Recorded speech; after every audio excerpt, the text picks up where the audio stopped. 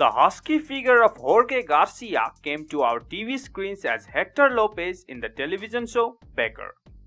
Ever since then, the actor has established himself not only on the small screen but also in theaters.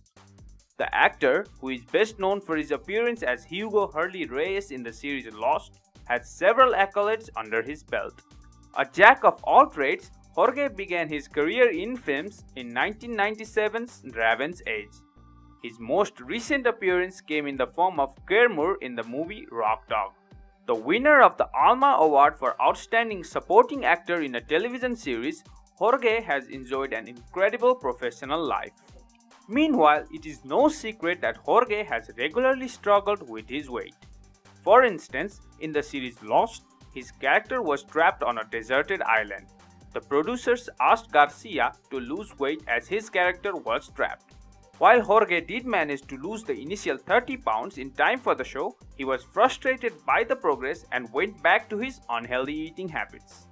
Recent reports suggest that Jorge underwent gastric bypass surgery to lose some weight. The reality star is back exercising and taking on a healthy diet. We would like to wish him all the best in his journey. That's it for this video. Leave a like if you enjoyed, subscribe to the channel and hit the notification bell so you never miss an upload.